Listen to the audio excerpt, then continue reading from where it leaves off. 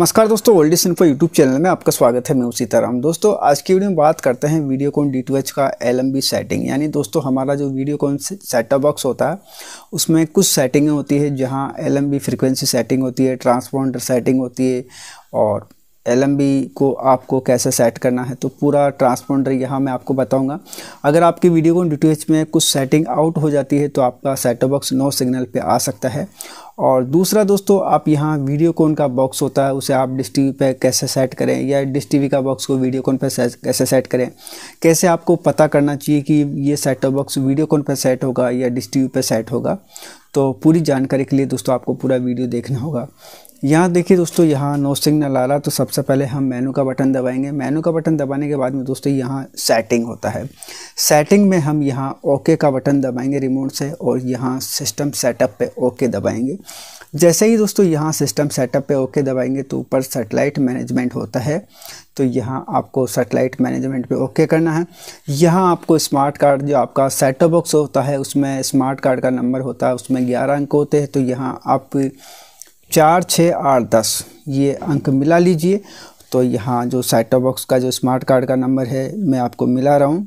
हर setup box में अलग अलग नंबर होता है दोस्तों। तो आपका जो सेटअप बॉक्स है, उसी का ही नंबर आपको मिलाना है। अगर आपको ये सेटिंग नहीं आती है तो मेरी प्लेलिस्ट पे भी इसका वीडियो है तो वहाँ आप देख सकते हैं। तो यहाँ हम चैनल स्केयर पर नहीं जाएँगे। यहाँ एलएमबी सेटअप पे जाएँगे, क्योंकि हमें जो वीडियो कॉन डी का जो सेटअप बॉक्स होता है, उसकी एल सेटअप करना है। तो यहाँ ओके का बटन दबाएँगे। अब यहाँ दोस्तों आपको देखना है, जब आप एलएमबी सेटअप करोगे तो आपको पता चल जाएगा, ये सेटअप बॉक्स डिश टी पर सेट होगा या वीडियो कॉन पर सेट होगा। तो यहाँ ऊपर सैटेलाइट पे एस टू टू लिखा हुआ आएगा तो समझ लेना आपका वीडियो कॉन पर सेटअप होगा। अगर यहाँ एस टी टू नहीं आए तो समझ लो आपका डिश टी पर सेटअप होगा। तो यहाँ एल सेटिंग हम कर रहे हैं तो यहाँ S T two Videocon D two H की एल सेटिंग कर रहे हैं। तो यहाँ एल जो प्रकार होता है एलएमबी कौन से प्रकार पर रहेगी तो आपकी एलएमबी यूनिवर्सल रहेगी। तो यहाँ आपको यूनिवर्सल रहे, रखना होगा। कई बार हम क्या सेटअप बॉक्स को रिसेट करते हैं सेटिंग चेंज हो जा, हो जाती है तो हमें यहाँ एल यूनिवर्सल रहेगा।